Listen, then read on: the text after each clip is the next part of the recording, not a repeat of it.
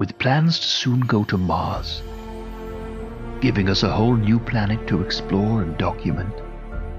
And with so much time spent looking out to the wild at rare and exotic creatures, we don't often look back to the places we know best. This series will take a look at the life of more local animals that manage to thrive, even in strange urban jungles. Revealing more of those understated creatures that often go overlooked.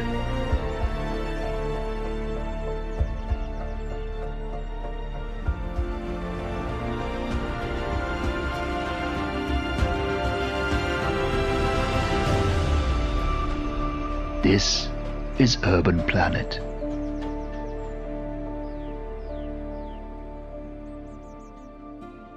When we began domesticating animals some 10,000 years ago, the world was vastly different.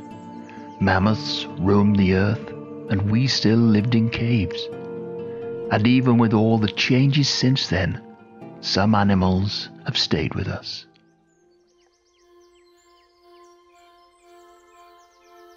Cats were domesticated slowly by rewarding them for controlling the vermin of our settlements.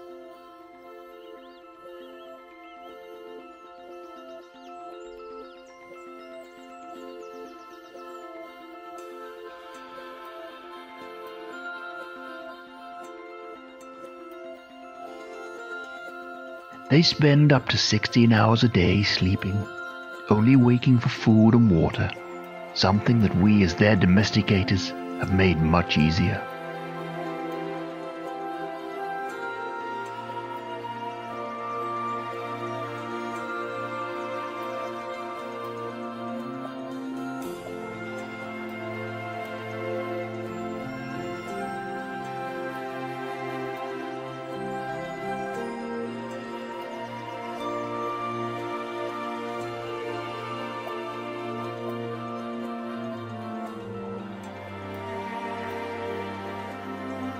They enjoy high up places, which makes them feel safe despite a lack of predators today.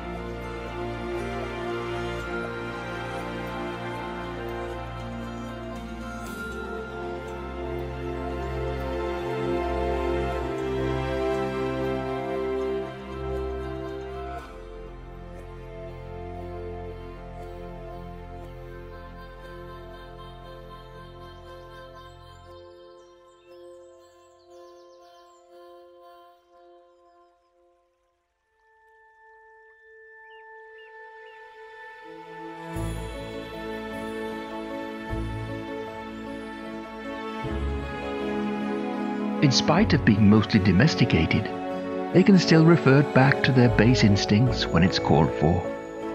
Hunting for leaves and even the passing wind if their mood is right.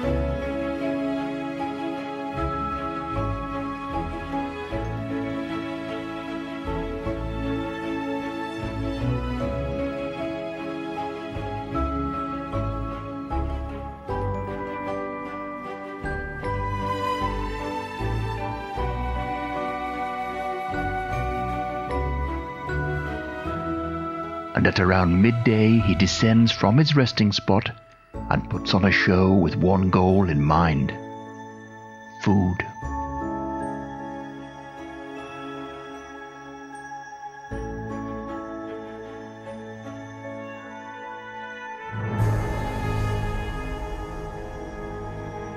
He stretches up on his hind legs and meows for attention, because when it comes to being fed, everything is necessary.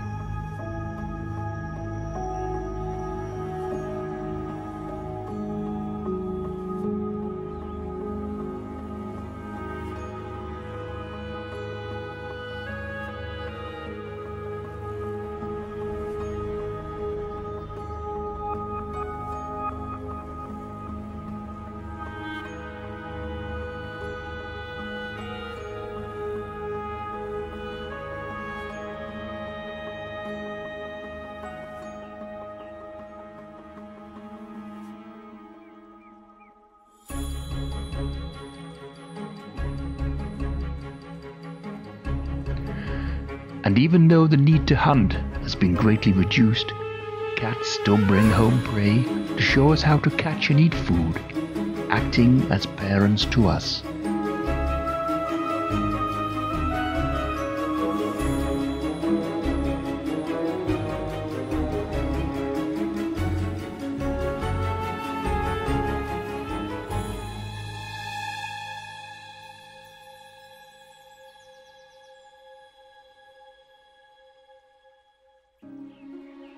Some cats can develop strange quirks that may not have happened in the wild.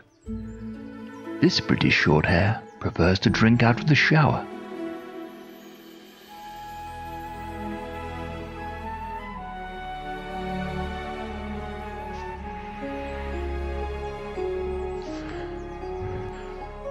A profound basis of an ecosystem is the idea of interdependence.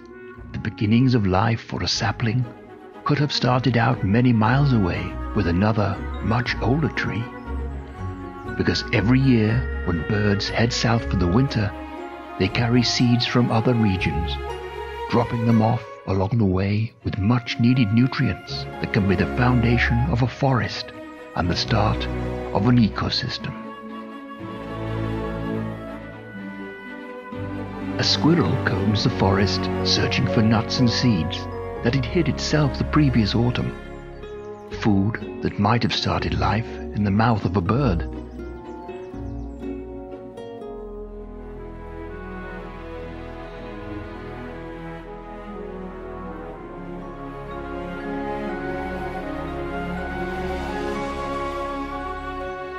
All across the forests of the United Kingdom, scurries of ground squirrels live in close company with each other.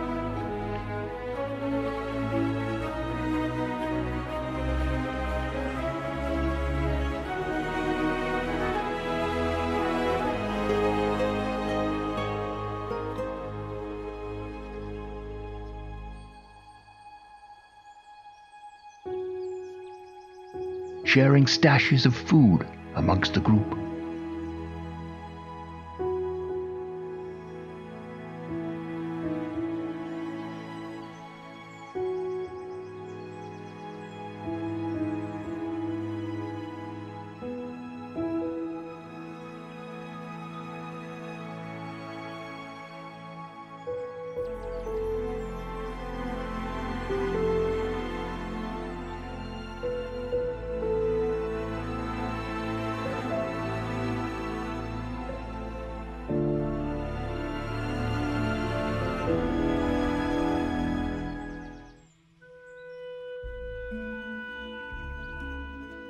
Compare these to the tree squirrels that live a solitary life because of the rarity of food, preferring to eat it themselves and share it.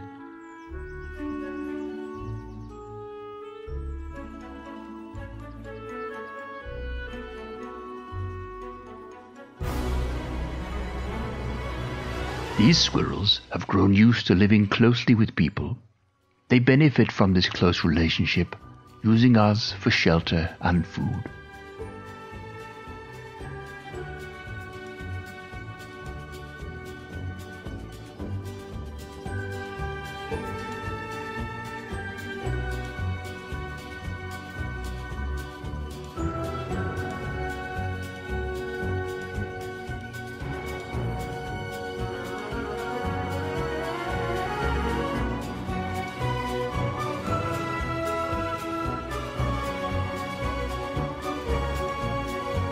This opportunistic squirrel has found a steady source of food in a bird feeder, raiding it every day for a quick snack.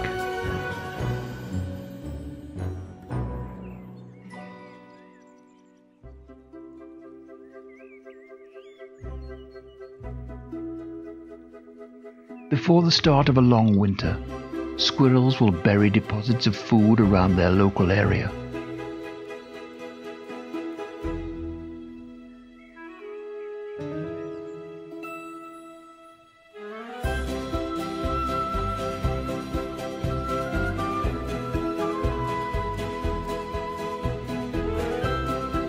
Some hide their food so well that it can't be found come the spring, leading to a tree sprouting and growing in that spot.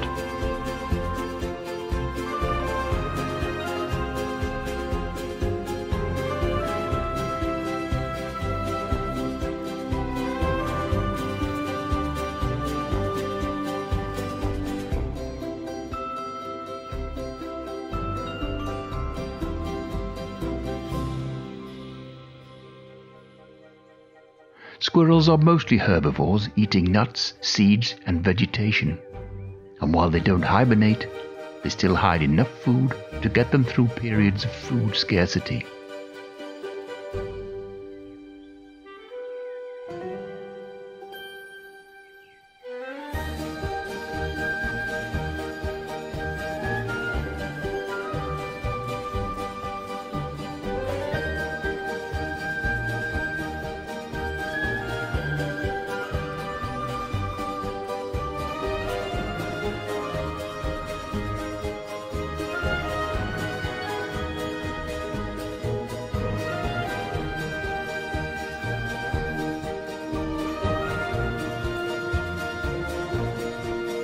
Raising up on their hind legs, they search and sniff for their favorite nut, the walnut.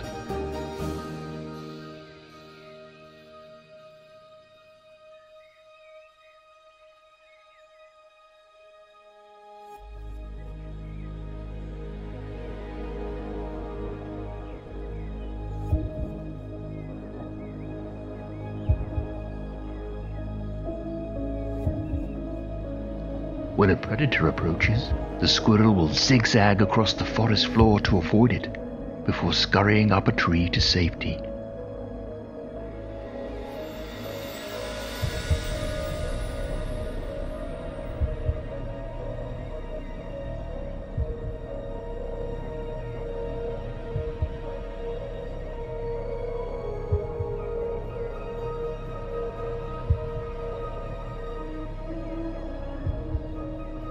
Lying flush, hiding until it is safe to descend and to continue the search for nuts.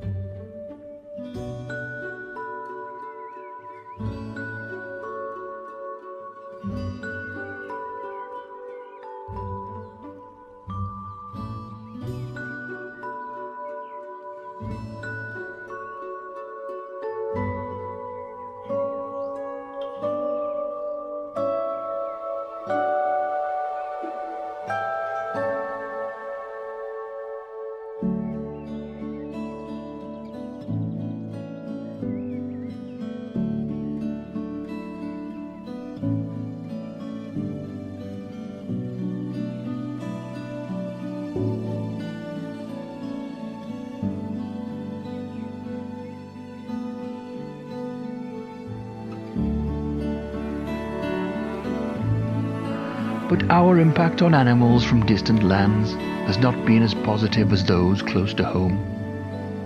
The permanent scarring of landscapes has left Bengal tigers without a home. And the pollution of our waters has done irreversible damage to the coral ecosystem.